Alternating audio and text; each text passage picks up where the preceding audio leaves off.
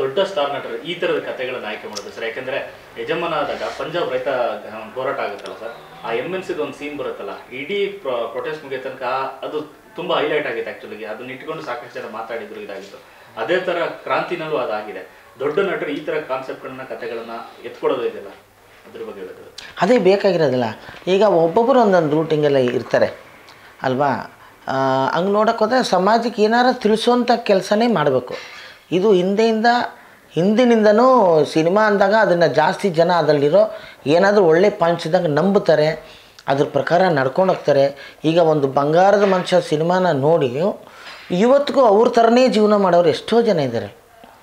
Doctor Rajkumar ಅವರು ಸ್ಫೂರ್ತಿ ಆಗಿಬಿಟ್ಟಿದ್ದಾರೆ ಎಲ್ರಿಗೂ ಈಗ ನಮ್ಮ ಮಾವನೇ ತೊಗೊಂಡ್ರೆ ಇವತ್ತಿಗೂ ಒಂದು ವೈಟ್ ಶರ್ಟು, ಒಂದು ವೈಟ್ ಪ್ಯಾಂಚು ಅದು ಪಂಚೆ ಮಕ್ಕಳನ್ನ ಹೆಂಗೆ ಓದಿಸ್ಬೇಕು, ಎಲ್ಲಿ ತನಕ ಓದಿಸ್ಬೇಕು, ಸಮಾಜದಲ್ಲಿ ನಾವು ಹೇಗೆ ನಡ್ಕೋಬೇಕು, ಹೆಂಡತಿ ಹತ್ರ ಹೇಗೆ ನಡ್ಕೋಬೇಕು, ಮಕ್ಳ ಹತ್ರ ಹೇಗೆ ಮಾತಾಡಬೇಕು, ಆಮೇಲೆ ಹೊರಗಡೆ ಹೋದಾಗ ಹೇಗೆ ಬಿಹೇವ್ ಮಾಡಬೇಕು, ಏನು ಒಳ್ಳೆ ಕೆಲಸಗಳನ್ನ ಮಾಡಬೇಕು ಅನ್ನೋದನ್ನು ಆಗ್ಲಿಂದಾನೂ ಸಿನಿಮಾ ನಮಗೆ ಕಲಿಸ್ತಾನೇ ಬಂದಿದೆ.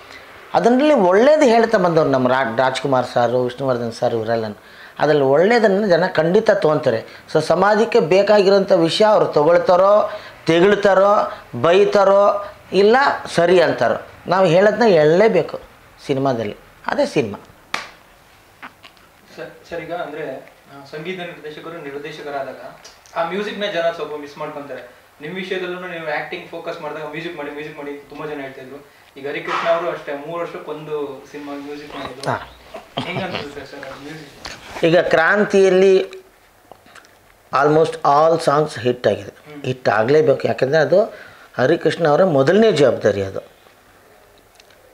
ಇದರಲ್ಲಿ ಆಲ್ಮೋಸ್ಟ್ ಎಲ್ಲ ಬೊಂಬೆ ಸಾಂಗ್ ಇರ್ಬೋದು, ಏನೋ ಅದು ಪುಷ್ಪವತಿ ಹಾಡಾಗ್ಬೋದು ಆಲ್ರೆಡಿ ಆಗಿದೆ. ಸೊ ಅದೇ ಒಂದು ಸಂಗೀತಕ್ಕಿರುವಂಥ ಒಂದು ಪವರು ಸಿನಿಮಾಗೆ ಥಿಯೇಟ್ರಿಗೆ ಕರ್ಕೊಂಬರ್ತಾರೆ ಆಡಿಯನ್ಸ್ ಬರ್ತಾರೆ ಅಂದರೆ ಅದು ಮುಖ್ಯವಾಗಿ ಹಾಡುಗಳು ಹಿಟ್ಟಾಗಲೇಬೇಕು ಆಲ್ರೆಡಿ ಹಿಟ್ ಮಾಡಿದ್ದಾರೆ. ನೀವು ಕೇಳಿದ ಕ್ವಶನ್ ಏನು? ಅದೇ ಸಂಗೀತ ನಿರ್ದೇಶಕರು ನಿರ್ದೇಶಕರಾದಾಗ. ಅಂದ್ರೆ ಮ್ಯೂಸಿಕ್. ಕಮ್ಮಿ ಆಗುತ್ತೆ ಮಿಸ್ ಮಾಡ್ಕೊಂತಾರೆ ಕಮ್ಮಿ ಆಗುತ್ತೆ ಅಂದರೆ ಒಬ್ಬೊಬ್ಬರಿಗೆ ಒಂದೊಂದು ಕಾಲಘಟ್ಟ ಅಂತ ಹೇಳ್ತೀವಲ್ಲ ಅದಾದಮೇಲೆ ಬೇರೆ ಬೇರೆ ಚೇಂಜ್ ಆಗ್ತಾನೆ ಹೋಗುತ್ತೆ ಈಗ ಮಗು ಮಗುವಾಗೇ ಇರುತ್ತಾ ಬೆಳೆಯುತ್ತೆ ಯೌವನ ಆಮೇಲೆ ಕೆಲಸ ಆಮೇಲೆ ಮದುವೆ ಆಮೇಲೆ ಮುಪ್ಪು ಆಮೇಲೆ ಗಪ್ಪು ಇದಿದ್ದೇ ತಾನೆ ಆ ಥರ ಆ ಟೈಮಿಗೆ ಒಂದೊಂದು ಏನೋ ಒಂದು ಚೇಂಜಸ್ ಬೇಕು, ನಾವು ಇದೇನೋ ಬೇರೆ ಸಾಧನೆ ಮಾಡಬೇಕು, ಬೇರೆ ಏನೋ ಮಾಡಬೇಕು ಮಾಡಬೇಕು ಅಂತ ಪ್ರತಿಯೊಬ್ಬರಿಗೂ ಅನಿಸುತ್ತೆ. ಅದರಲ್ಲಿ ನಮ್ಮ ಸಿನಿಮಾದ ರಂಗದಲ್ಲಿ ಅದು ಸುಲಭದ ದಾರಿ. ಹರಿಕೃಷ್ಣಗೆ ಮುಂಚೆಯಿಂದಲೇ ಡೈಲಾಗು ಆಗಲಿ, ಕತೆ ಬರೆಯೋದಾಗಲಿ ಇದರಲ್ಲೆಲ್ಲ ಅವ್ರಿಗೆ ಇಂಟ್ರೆಸ್ಟ್ ಇತ್ತು. ಅದರಿಂದಾಗಿ ಅವ್ರಿಗೆ ಜೊತೆಲೇ ನಮ್ಮ ದರ್ಶನ್ ಅಂತ ದೊಡ್ಡ ದೊಡ್ಡ ಹೀರೋಗಳ ಜೊತೆಲೇ ಕೆಲಸ ಮಾಡಿದ್ರಿಂದ, ಎಲ್ಲ ದೊಡ್ಡ ದೊಡ್ಡ ಹೀರೋಗಳು ಸಂಗೀತ ಸಂಗೀ ಮ್ಯೂಸಿಕ್ ಡೈರೆಕ್ಟರ್ಸ್ಗೆ ಸಾರಿ ಆ್ಯಕ್ಟರ್ಸ್ಗೆ ಹರಿಕೃಷ್ಣ ಮ್ಯೂಸಿಕ್ ಮಾಡಿದ್ದಾರೆ. ಅದರಿಂದ ಎಲ್ಲರ ಕಾಂಟ್ಯಾಕ್ಟು ಇತ್ತು. ಜೊತೆಗೆ ಡಿ ಬೀಟ್ಸ್ ಅಂತ ಏನೋ ಒಂದು ನಿರ್ಮಾಪಕರ ಒಂದು ಇದು ನಮ್ಮ ಶೈಲಜಾ ಮೇಡಮ್ ಸುರೇಶ್ ಅವರಿದ್ದಾರೆ. ಆ ಗ್ರೂಪಲ್ಲಿ ಸೇರಿದ್ರು. ಡಿ ಗ್ರೂಪ್ಸಲ್ಲಿ ಅವರು ಸಂಗೀತವನ್ನು ಸಿಕ್ಕಾಪಟ್ಟೆ ಅಲ್ಲಿ ಬೆಳೆಸಿದ್ರು. ಜೊತೆಗೆ ಆ ಟೀಮಲ್ಲಿ ಸೇರಿ ಡಿ ಗ್ರೂಪ್ಸಲ್ಲಿ ಇಂಥ ಒಂದು ಕೋಟ್ಯಾಂತರ ರೂಪಾಯಿ ಹಾಕಿ ದೊಡ್ಡ ದೊಡ್ಡ ಸೆಟ್ಗಳಲ್ಲಿ ಯಜಮಾನ ಸಿನಿಮಾನೇ ಮಾಡಿದ್ದಾರೆ. ಸೊ ಕ್ರಾಂತಿ ಅದಕ್ಕಿಂತ ಡಬಲ್ ಖರ್ಚು ಮಾಡ್ತಾ ಇದ್ದಾರೆ. ಪ್ರತಿಯೊಂದು ಸೆಟ್ ಹಾಕಿ ಅಷ್ಟು ದೊಡ್ಡ ಕೆಲಸ ಮಾಡಬೇಕಾದ್ರೆ ಅವರು ನಿರ್ದೇಶಕರಾಗೋದ್ರಲ್ಲಿ ತಪ್ಪೇನೂ ಇಲ್ಲ. ಸಂಗೀತ ಕಮ್ಮಿ ಮಾಡೋದ್ರಲ್ಲಿ ತಪ್ಪಿದೆ.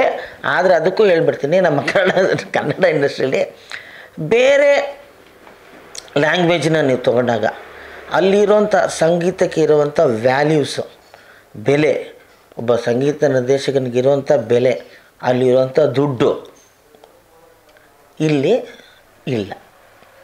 ಅಂದರೆ ಬೆಲೆ ಇದೆ, ಎಲ್ಲ ಇದೆ. ದುಡ್ಡು ಅಂತ ಹೋದಾಗ ಎಸ್ ಒಬ್ಬ ಸಂಗೀತ ನಿರ್ದೇಶಕ ಇಲ್ಲಿ ಹೋಗ್ತಾ ಹೋಗ್ತಾ ಕುಗ್ತಾನೆ. ಮೇಲೆ ಬರೋದಕ್ಕೆ ಸಾಧ್ಯ ಇಲ್ಲ. ಅದರಿಂದಾಗಿ ನಮಗೆ ಯಾವ್ದು ಬೇಕೋ ಆ ದಾರಿನ ಹುಡ್ಕೊತಾ ಇರ್ತೀವಿ. ಜೀವನಕ್ಕೆ ಹುಡ್ಕೊಳ್ಳೇಬೇಕಲ್ಲ? ಹುಡ್ಕೊಳ್ತಾ ಇರ್ತಾರೆ. ಬಟ್ ಮ್ಯೂಸಿಕ್ ನಿಲ್ಲಿಸ್ಬಾರ್ದು. ಯಾಕೆಂದರೆ ಅದು ನಮ್ಮ ಜೀವನ. ಅದೇ ನಮಗೆ ಫಸ್ಟು ಜನರನ್ನು ನೋಡಿ ನಮ್ಮನ್ನು ಇಷ್ಟಪಟ್ಟಿದ್ದು. ಹರಿಕೃಷ್ಣಗೆ ಮತ್ತೆ ಹೇಳ್ತಾ ಇದ್ದೀನಿ, ಅವ್ರ ಸಂಗೀತನ ಬಿಡಲೇಬಾರ್ದು. ಜೊತೆಗೆ ಡೈರೆಕ್ಷನ್ ಆಲ್ರೆಡಿ ಒಂದು ಸಿನಿಮಾ ಇಟ್ಕೊಟ್ಟಿರೋದ್ರಿಂದ ಅದನ್ನು ಬಿಡಬಾರ್ದು